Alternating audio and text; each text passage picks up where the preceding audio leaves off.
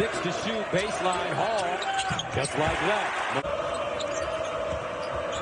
Here's Hall, thinking about it, spins, fires on the fade, and count it. He wears number 22. Also, Carr from Michigan State, number 55. Hall, left hand, scoop, got it to Paul Simon.